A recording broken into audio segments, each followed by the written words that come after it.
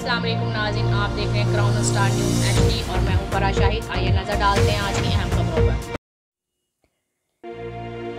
अब रुख करेंगे शाहपुर चाकर का, जहाँ पे मैं नुमाइंदे रजब अली डाहरी की रिपोर्ट के मुताबिक आपको आगाह करते चले।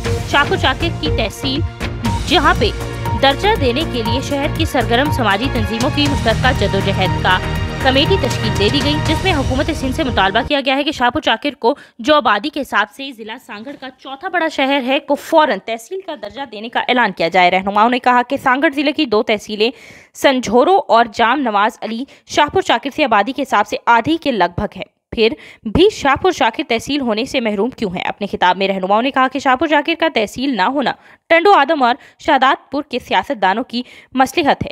क्योंकि शाहपुर जाकिर की तहसील होने से जो शाहपुर जाकिर के वोटरों की एक बड़ी तादाद जो इनको वोट देकर कामयाब करती है, वो टूट जाएगी और शाहपुर जाकिर तहसील बनाए जाने से इनको अपनी कश्ती डूबती हुई नज़र आती है। इजलास में शिरकत करने वाले रहनुमाओं में पाकिस्तान बेसिक ऑर्गेनाइजेशन के मीर खादिम हुसैन इमरानी, कौमी कमीशन बरा इंसानी हकूक के जान मोहम्मद ब्रोही इसके अलावा स्टेप फाउंडेशन के लियाकत झलन, इसके अलावा सिटीज़न एक्शन कमेटी के सदर इंजीनियर अज़ीज़ डाहरी शहरी हकूक़ के मोहम्मद सालिया झलन, सूफ़ी फाउंडेशन के सूफ़ी अनब फ़कीर और इसके अलावा दीगर भी शामिल हुए। रहनुमाओं ने कहा कि शाहपुर चाकिर को हर समाजी बुराई की लानत से छुटकारा दिलाना है, इसलिए हम अदालतों तक नहीं जाएँगे।